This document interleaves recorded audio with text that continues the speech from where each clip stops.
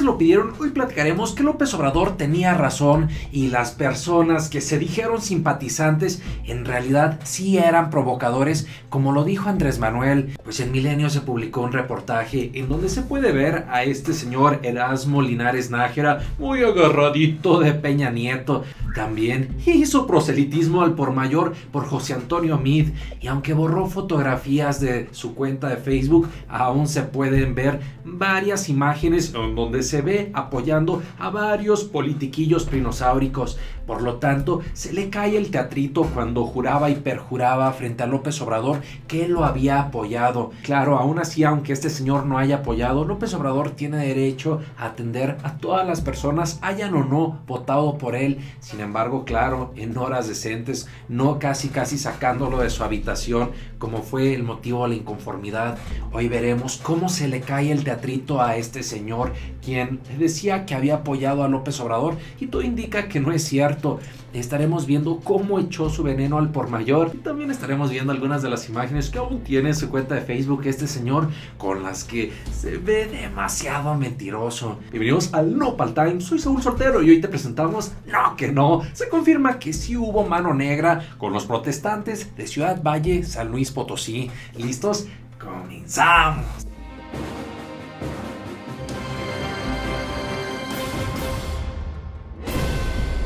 ¿Cómo están mi querida familia Nopal Times? Como ustedes me lo pidieron en el grupo de Facebook Familia Nopal Times, que por cierto, si no están suscritos, únanse por favor al grupo. Solamente deben de buscarnos así, Familia Nopal Times. Ya somos más de 28 mil miembros a quienes les agradezco que están subiendo diferentes temas. También me han enviado varias peticiones y como ustedes están aquí para mandarnos, pues nosotros estamos para cumplir y me pidieron que abordara este interesante tema en donde se demuestra que las personas que fueron a protestar, que prácticamente sacaron casi casi a López Obrador de su habitación del hotel, pues en realidad sí eran provocadores. Claro, en esa ocasión López Obrador fue criticado porque supuestamente se había comportado muy enojado. Y este señor Erasmo Linares, uno de los principales vocales, quien empezó a criticar y hacer o mostrar sus exigencias frente a AMLO, pues se dio vuelo y a otro día hizo publicaciones a diestra y siniestra criticando y echando todo su veneno contra AMLO y todo lo que huele a cuarta transformación. Pero miren, para estar todos en contexto, y para quien no se acuerda de qué fue lo que ocurrió en Ciudad Valles, San Luis Potosí, vayamos a ver los siguientes extractos del video. No, no, la, única, la única cosa que quiero es que por favor se retire, ¿sí? Porque no merezco este, que aquí donde voy a descansar se metan ustedes a la fuerza. Esto es indebido completamente. Democracia es orden, es orden democrático. Con mucho respeto le digo nuevamente, es yo a usted, nosotros a usted lo apoyamos. Nosotros estamos con ustedes. Pero estamos así por un desquiciamiento de la gente, por la falta de atención del presidente municipal. Sí, pero ese es el presidente municipal, pero yo este, vengo aquí a atender a todos, ¿sí? pero no merezco esto que me están haciendo. Punto.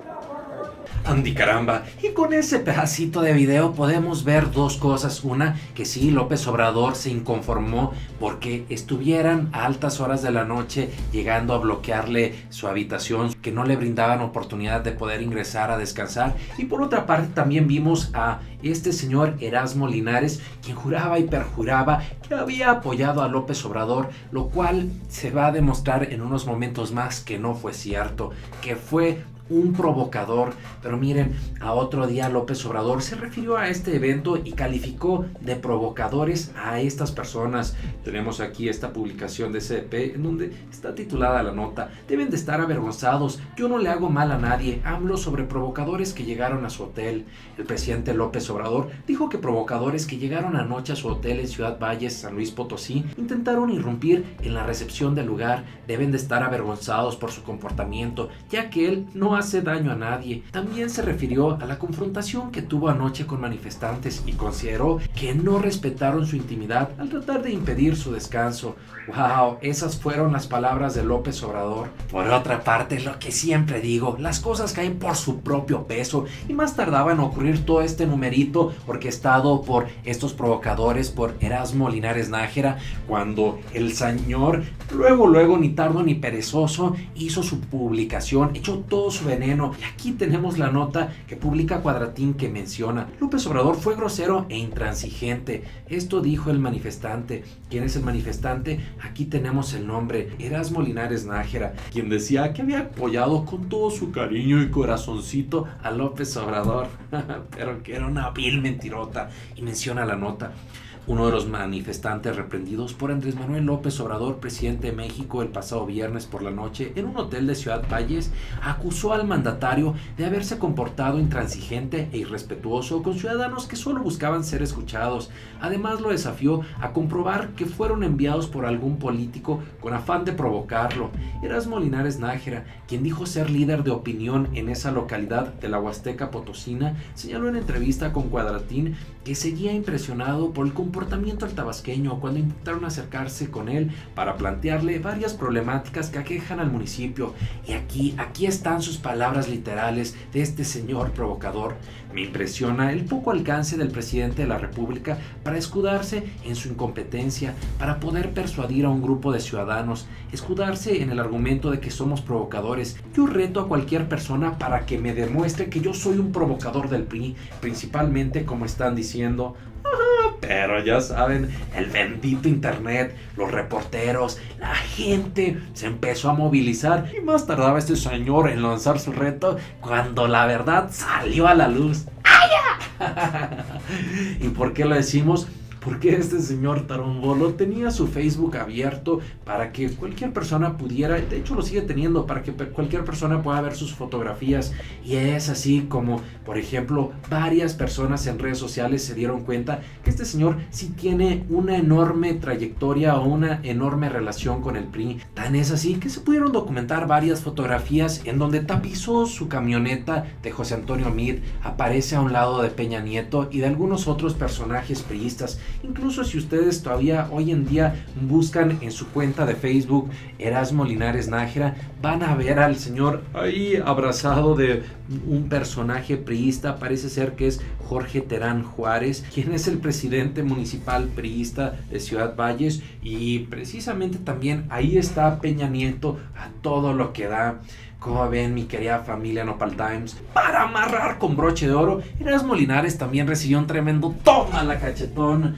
Estuvieron circula y circula al por mayor esta fotografía en donde se ve casi casi de cachetito ahí repegadito, repegado a Peña Nieto. Entonces todos estos indicios señalan que sí, el señor le hizo el caldo gordo al PRI.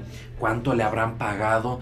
¿Quién lo habrá mandado? ¿Habrá sido iniciativa propia? Ahí como esos metiches o tarugos con iniciativa, no lo sabemos. Lo que sí sabemos es que hay muchas, muchas pruebas que lo relacionan enormemente con el PRI. Algunas personas podrían decir, achis, achis, los mariachis usan chanclas y guaraches. A ver, Saúl, pero una cosa es su pasado más que comprobado priista y otra cosa es que no tenga derecho a que López Obrador lo escuche. Sí, claro, pero para eso están los eventos públicos. Pero creo que el hecho de acercarse, increparlo a su habitación del hotel, pues ya de ahí es una cuestión de privacidad de respeto que debe haber, más considerando que López Obrador está haciendo lo que ningún otro presidente, de estar visitando todos los fines de semana y en muchas ocasiones entre semana diversos municipios, ciudades de toda la República, independientemente de que estén en el norte, en el sur, en cualquier parte del país. Por otra parte, es interesante no perder de vista cómo, a pesar de todas las cosas también de este señor Erasmo Linares, Aún así, el gobierno de López Obrador, su equipo, le dio una zarandeada con guante blanco. Tan es así que han estado atendiendo al señor, le han estado llamando, han estado haciendo citas con él. Por lo tanto, pues aún así, todo este numerito, todo este teatrito le salió muy benéfico. Para eso no debemos perder de vista lo publicado en este sitio Huasteca Hoy, en donde está titulada esta nota. Nos equivocamos en la forma, pero fuimos escuchados, reconoce Erasmo Linares y dice lo siguiente, asumo responsabilidades, no fue la forma de pedir apoyo al presidente Andrés Manuel López Obrador, pero logramos el objetivo de llamar la atención y hasta nota nacional fuimos. Y lo mejor es que la dirección de ayudantía ya se comunicó con nosotros, nos atenderá la Secretaría de Trabajo del país, pero en el caso de APAS y el delegado federal Gabino Morales para denunciarle la falta de obras y acciones en Valles por el mal gobierno municipal, aseguró Erasmo Linares, que la noche del pasado viernes junto con una comitiva de trabajadores sindicalizados del organismo del agua llegaron hasta el Hotel Valles y fueron regañados por el mandatario federal al insistir en ser atendidos sin dejarlo llegar a descansar. Y aún así, aunque este señor está reconociendo que lo han atendido, que lo están llamando, que va a tener citas, aún así no desaprovechó la oportunidad para seguir echando su veneno contra López Obrador, lo que me parece francamente desagradecido. Miren, aquí también publicaron, reconozco que había molestia a López Obrador, no nos dio ninguna opción anoche, se cerró y nos dio el portazo, las cosas en un buen tramo se hicieron mal, pero al menos intenté hablar con él, él estaba agitado, desencajado, molesto y cansado, mas no apruebo su cerrazón a escuchar y su eventual intransigencia. Esperaba más inteligencia de un primer mandatario para utilizar la diplomacia, evitar mostrar que también él perdió el estribo. Pero una vez pasado el trago amargo, no todo se perdió, fuimos escuchados, llamados la atención. ¿Cómo la ven, mi querida familia? Ha sido más cuerudo este bribón de siete suelas.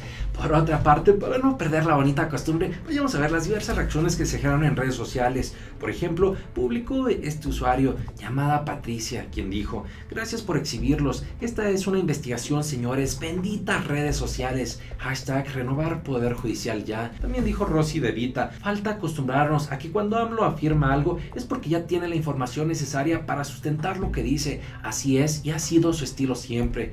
También cerró Edgar Antonio señalando, órale fachitos, Javier Lozano, Fernando Belauzarán y Mariana Gómez del Campo, o van a decir que Milenio es Chairo, wow, wow, wow, ¿cómo la ven mi querida familia Nopal Times? Por una parte, nosotros creemos que este señor Erasmo Linares fue un poquillo trombolo, total, si va a ser su numerito, su teatrito, andar increpando a López Obrador, mínimo que hubiera cerrado su Facebook, pero no hombre, este señor fue cínico, desvergonzado y pues un poco tarugo. Digan ustedes si no.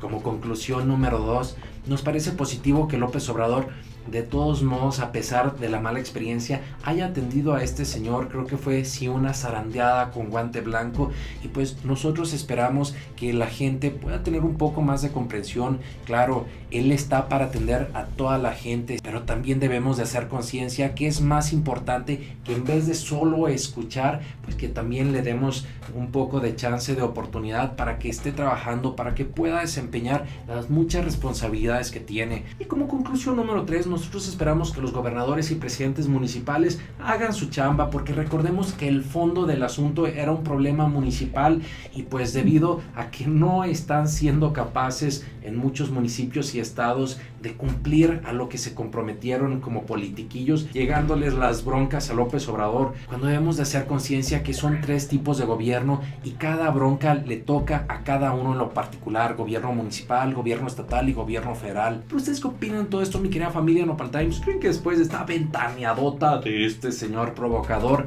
algún otro provocador se la piense porque sabe que sería también mostrado, evidenciado gracias a las redes, a los reporteros, lo que sea que opinen que salga su ronco pechorrelo. No se olviden de participar en los comentarios. Por lo pronto, muchas gracias. Queremos que te suscribas al canal, que nos des tu valioso like, pero sobre todo que compartas nuestros videos y contenidos. Nos vemos aquí todos los días y recuerda, infórmate y no te dejes ver la cara de nopal. Nos vemos. Hoy platicaremos sobre la terrible situación de Televisa, en donde pasaron de tener un costo cada una de sus acciones hasta casi 120 pesos. Hoy en día, como podemos ver en esta gráfica, están en una grave, grave caída. Y por eso ha bajado su valor desde los 120 hasta 35 pesos por acción. Y por si no tuviera suficiente, Emilio Azcarra Gallán con su empresa Chafalavisa, déjenme decirles una de las peores noticias que ha recibido en